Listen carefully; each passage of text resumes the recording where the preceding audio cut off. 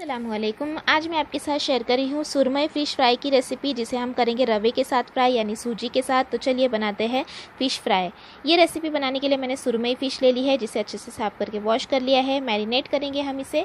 तो मैरिनेशन में मैंने ऐड कर दिया है चार से पाँच करी लहसन की क्रश की हुई। लहसन को अच्छी तरह से क्रश कर लेना है। उसमें बाद हम इसमें ऐड कर देंगे आधा नींबू का रस।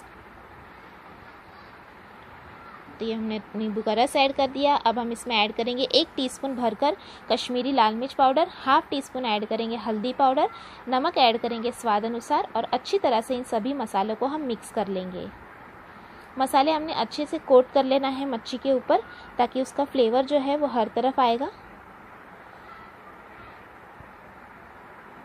तो ये देखिए, अच्छी तरह से मैंने मिक्स कर लिया है, मसाला अच्छे से लग गया है। तो अब हम इसे रख देंगे आधे से एक घंटे के लिए मैरिनेट होने के लिए।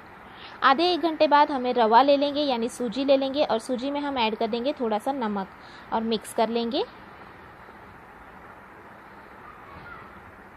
और आधा घंटा हो चुका है तो हम तवा गरम करने रख देंगे और तवे पे हम ऐड कर देंगे एक टेबलस्पून तेल।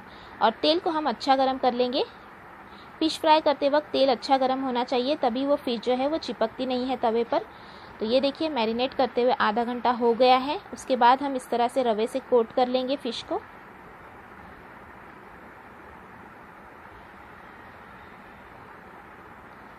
तो ये देखिए, अच्छी तरह से हमें कोट कर लेना है और गरम जब हो जाएगा तेल, तब हम इसमें रख देंगे फ़िश को।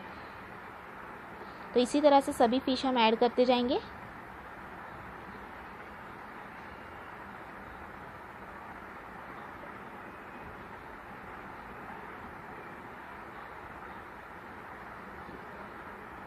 और ये हमने फ़िश ऐड कर दी है। अब हम मीडियम फ्लेम पर इसे पकने देंगे।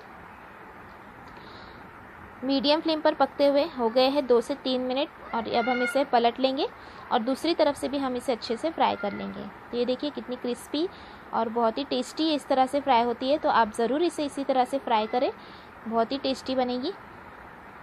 देखिए, अगर तेल की ज़रूरत हो तो आप थोड़ा तेल साइड में डाल सकते हैं। और ये दोनों तरफ़ से मैंने फ़िश को फ्राई कर लिया है और बहुत ही फ़िश हमारी अच्छी तरह से कुरकुरी फ्राई हो गई है। देखिए, मैं आपको दिखा देती हूँ। तो आप भी इसी तरीके से ये सुरमई फ़िश फ्राई को ज़रूर फ्राई करें और आप सर्व करें इसे राइस के साथ, सालन के साथ सुरमई फ़िश करी की, जिसका वीडियो मैंने पहले ही शेयर कर दिया है आपके साथ। और रेसिपी कैसी लगी कमेंट करके ज़रूर बताइएगा। अच्छी लगी तो लाइक और शेयर भी ज़रूर करना। Thanks for watching have a good day